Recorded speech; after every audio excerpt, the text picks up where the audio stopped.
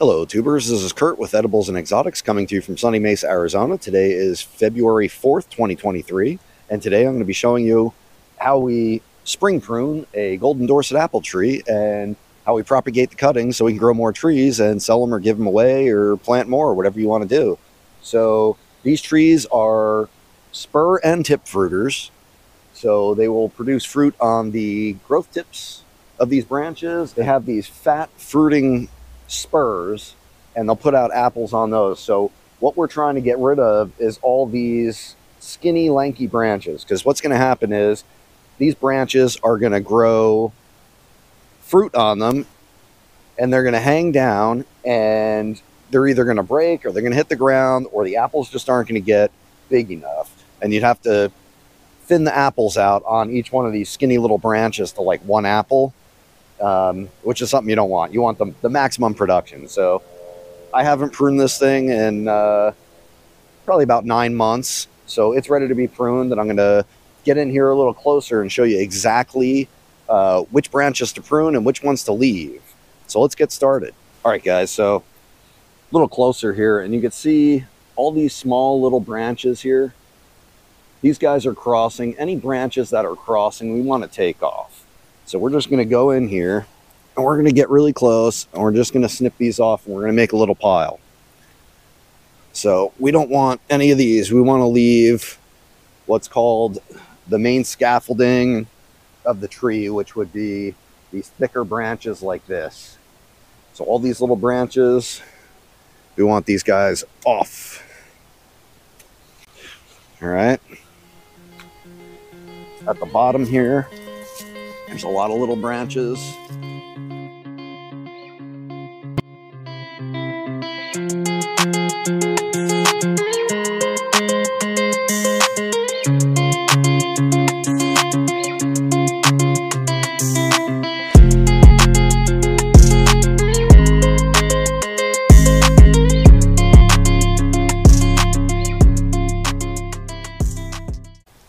So that's it, guys. That's how simple it is to prune these up. I did this in a matter of uh, two, three minutes. Um, we have no more crossing branches. Everything's nice and open. Um, they need sunlight to set fruit, so you got to leave an open canopy, guys. it's, it's got to be thinned out every year if you want apple trees to grow and, and produce a, a, ton of fruit. Uh, now is the best time to do it because it's getting ready to wake up. In the next month, it should start putting out a ton of buds.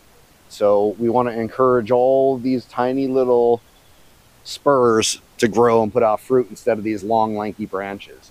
So we've trimmed everything up and in a uh, about a month or so we should be good for fruit production and usually these guys put out fruit somewhere uh, around the middle of the summer. Off of this tree in particular I usually harvest uh, about three five gallon buckets of apples every year and you know they range in size. I try to thin them out a little bit.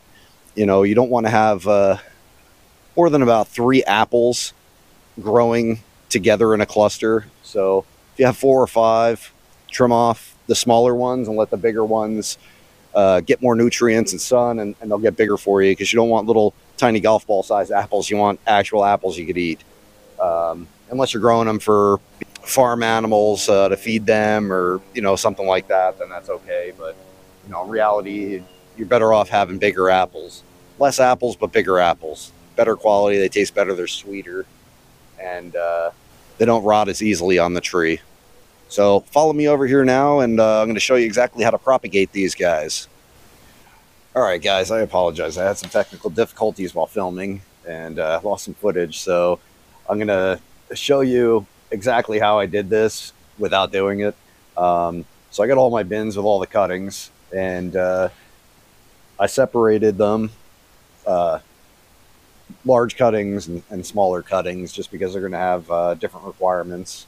And uh, basically what I do is I got these at the Dollar Tree. They're uh, just plastic bins. I got my perlite from uh, Home Depot, big old bag of it. And I poked four holes one in each corner of the bins to allow for water drainage. I filled them up with perlite. I soaked the whole thing. And then uh, what that does is when you stab your cuttings in, it allows them to stay in place instead of just moving around. And uh, basically, I, I did my cuttings about halfway, three quarters covered into the perlite, and then the tips are sticking up. Obviously, you want to put them in the right way. You don't want to put them in upside down. Uh, if they have a, a, bud like this, it, it it's probably just going to rot. If it's a stick like this, it might actually root out upside down, but try to keep them oriented right. And uh, basically, the, the point of the perlite is to keep the bottom of the cutting moist, not soaking wet, but moist. And since it's gritty, it allows air to flow around the cutting so you won't get mold or anything like that.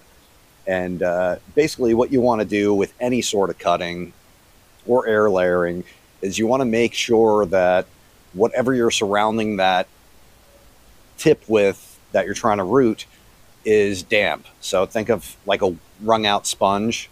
You don't want water dripping out and you want to kind of trap that moisture in there. But with these, these are going to be outside. They're going on my uh, uh, cutting rack.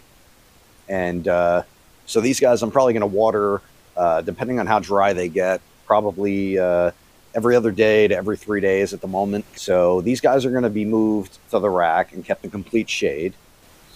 And that's basically it. I didn't use any sort of rooting hormone on these or anything like that. They're just going to sit in the shade. The temperatures are cool enough out. They should root out as long as they don't dry out on the tops. They should be fine. Uh, normally with fig cuttings, these bigger ones, I would put some uh, tree trunk sealer on it, which is like a black tar. Um, I'm probably going to do it on these bigger ones, but these little ones, uh, probably not even going to bother. I'm just going to put them on uh, on the rack and, and just let them do their thing. All right, guys, so we're all done uh, getting these cuttings in the bins and uh, I couldn't tell you exactly how many there are, but I can tell you there is a lot of them. So even if uh, some of them don't make it, there's no loss there. Just pull them out, throw them on the ground, and uh, let the soil organisms take care of them. But uh, so I got two bins right now with smaller ones, and I got one bin of medium-sized cuttings. And these guys, like I said, I pre-soaked this perlite.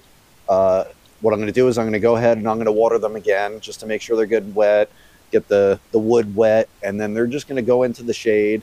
Uh, our temperatures are cool enough right now to where they're not going to dry out. As long as they don't get hit with direct sunlight, they should be fine. And uh, so right now we're uh, somewhere around uh, probably 40s at night and maybe 60s, 70s during the day. And uh, the sun's not strong this time of year, so just a a shady spot's going to be perfect for these guys. And probably in about two, three months, they're probably going to be rooted out and ready to pot up. So I'm going to show you exactly how I do that in an update video in the uh, the future. But uh, as of now, they're ready to do their thing. And if you guys have any questions uh, further on how to do this, uh, you could ask me in the comments. I'll get back to you as soon as I can. I usually respond pretty quick. Again, these are uh, golden Dorsett apples. Um, when you're planting apples in the valley here, uh, there's a couple of varieties. The two most popular are golden Dorsett and Anna. I have both. You really, they say you need two varieties to cross pollinate. Um, you really don't. You might get more fruit production if you have two varieties. Like me, for instance, I have a golden Dorsett on the one side, and then I got an Anna apple on the other side of the yard. And I'm not sure if they're actually cross pollinating, but I get a ton of apples. I get so many apples, I don't know what to do with them. I get sick of them. So if you're looking for apple trees, those are the two I recommend. I prefer the Anna apple. I think it, uh, I think it's a better looking tree. I think it's uh, a little more sturdy, whereas this Golden Dorsett, it does have a tendency to weep. Uh, if you like that sort of look, it'd be great for you. Uh, the Anna's more of an upright. It doesn't have the hanging branches like this one does but they both produce excellent, really good, sugary sweet fruit. I'll see you guys in the next video. Thanks for watching. Please don't forget to like, subscribe, share, tell all your friends. I hope to get a few more uh, updates out. Uh, we had some frost, and uh, the big banana tree got hit with some frost, the one with the flowers. So I'm going to try to do an update on that this weekend for you too, guys. Thanks for watching.